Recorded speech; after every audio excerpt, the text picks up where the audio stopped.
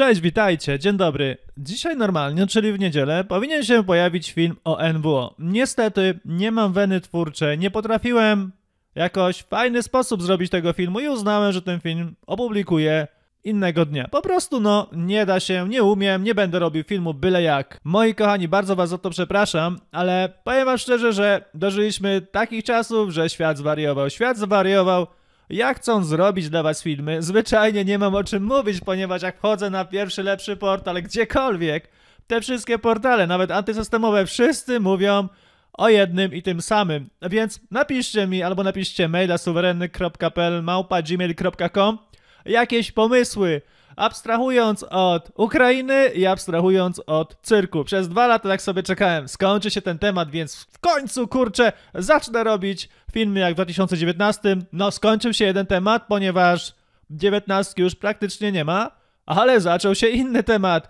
i ten temat jest jeszcze głupszy niż tamten temat. No ale wszak jest oglądalność, jest klikalność, niektórzy to zarabiają kasę na sianiu popłochu, na sianiu dezinformacji, na sianiu wszystkiego.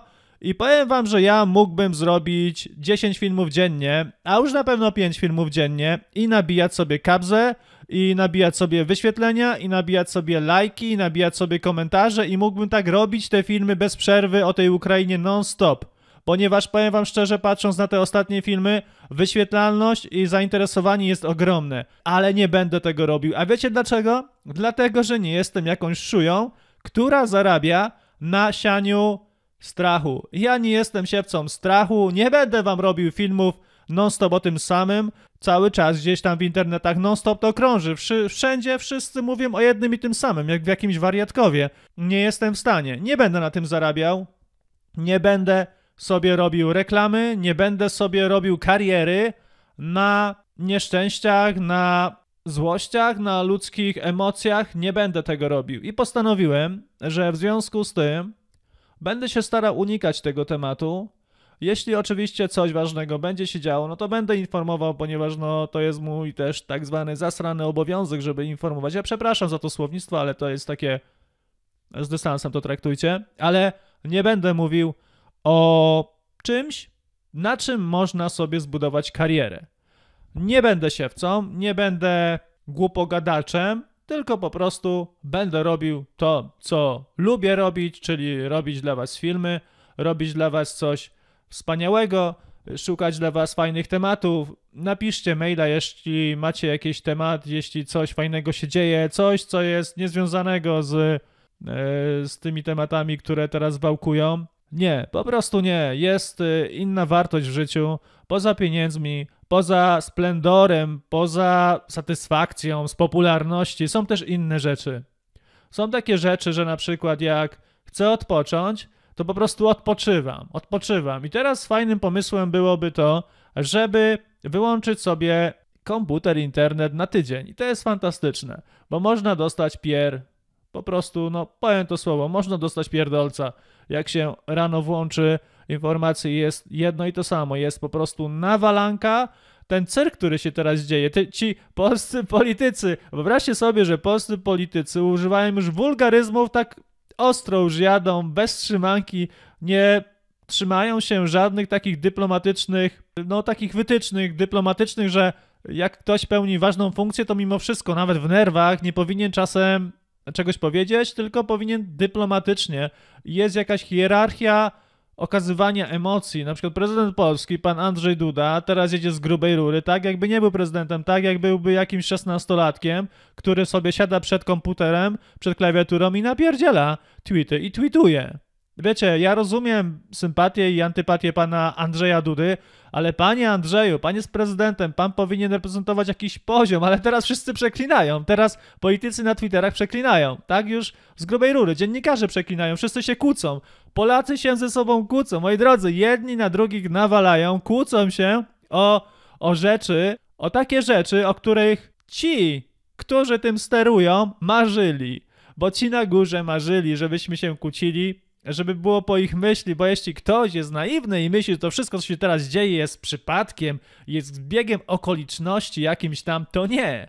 To wszystko jest napisane i to było pisane wiele, wiele, wiele lat temu i to było wszystko tak zarządzane, żeby doszło do chwili tej, która ma teraz miejsce i do chwili tej, która miała miejsce dwa lata temu. To wszystko nie jest przypadkiem. Moi drodzy, ja już y, wariuję po prostu pod względem monotonii tematycznej. Nie ma o czym robić filmów. Chciałbym dla was robić filmy jakiekolwiek, nie dotykające tego tematu, bo ten temat mi śmierdzi i sprawa jest tak podejrzana, że można by napisać książkę. Nic nie jest tak, jak mówią media. Wszystko jest zupełnie inaczej. Przez dwa ostatnie lata nauczyliśmy się, żeby nie ufać. Nadal to robimy i nadal ufamy. Brawo, super, rewelacyjnie. A ja powiem tak. Ja jako Polak i wy jako Polacy nie mamy możliwości przekabacić czy tam oświecić, nawrócić innych, więc zróbmy tak. Jak ktoś chce, jak ktoś chce się babrać w tym czymś, no to niech się babrze, niech się bawi, a my żyjmy swoim życiem. Jakoś to będzie, jakoś sobie poradzimy.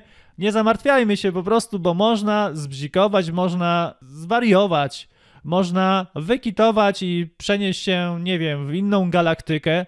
Może na innej galaktyce będzie weselej, może będzie więcej radości, ponieważ doszliśmy do takich czasów, że ludzie zarabiają, ludzie czerpią przyjemność z sensacji, ludzie czerpią przyjemność ze straszenia innych, ludzie, na przykład media, jakieś tam portale, czerpią przyjemność albo i kasę, albo dostali kasę za to, żeby ludzie żyli sensacją. Ja nie idę tą drogą. To nie jest moja droga, moi drodzy. Ja nie obieram takiego kierunku, więc ja będę robił filmy takie, które są interesujące, które może będą miały wyświetlalność no 10 razy mniejszą, ale będę robił coś, w co wierzę, w moje przekonania będę celował, a nie w sensację i budzenie niepokojów, budzenie strachu wobec was, wśród was i wobec też innych. Nie, to nie jest moja droga.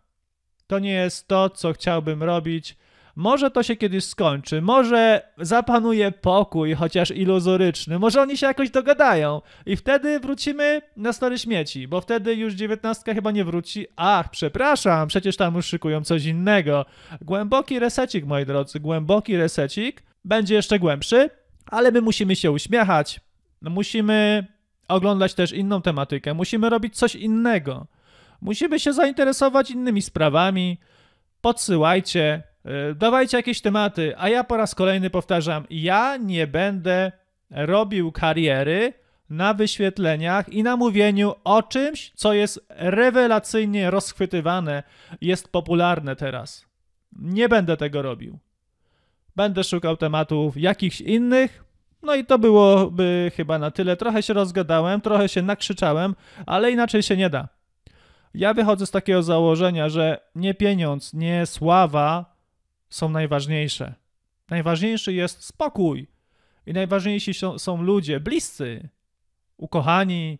Ja na przykład mam osobę ukochaną i bardzo ją serdecznie pozdrawiam i cieszę się życiem. Wam też to proponuję, bo no życie jest jedno, później pójdziemy w inną drogę, w inny świat i nie wiemy jak tam jest, więc cieszmy się tym, co mamy E, jedźmy na wakacje, wyłączmy telefony, telewizory. Ja swój wyrzuciłem w 2012, nie żałuję. Widziałem go przez trzy dni, stał na chodniku, nikt go nie brał. Tam później go zaczęli rozkręcać i zabierać sobie części. I miałem taką satysfakcję. Za darmochę oczywiście wyniosłem z pokoju, z mieszkania, zniosłem ciężko było, ponieważ telewizor był taki stary jeszcze, to nie jakiś taki nowoczesny, który jest teraz. W 2012 miałem już taki telewizor, który oczywiście włączyłem sobie od czasu do czasu, ale telewizji tak naprawdę nie oglądałem. I od tego czasu mam święty spokój. Czerpię wiedzę z czegoś niezależnego. Problem w tym, że właśnie teraz to coś niezależne też jest zależne. No ja już nie mam czerpać skąd wiedzy, więc będę tutaj na takie natchnienie czekał i na jakieś oświecenie mojego umysłu. Pozdrawiam Was bardzo serdecznie, trzymajcie się bardzo cieplutko. Ja mam bardzo dobry humor, jestem wręcz zrelaksowany.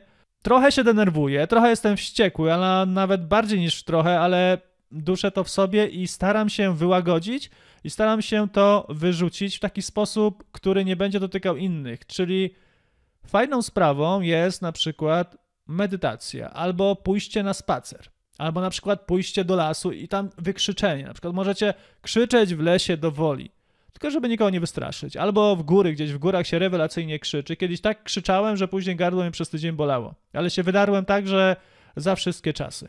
Dobra, moi drodzy, pozdrawiam was bardzo serdecznie, trzymajcie się, nie martwcie się, trochę gadałem, przepraszam, że was zanudziłem, jeśli chodzi o te całe... Albo dobra, już nie kończę. Pozdrawiam i do usłyszenia, cześć, papa.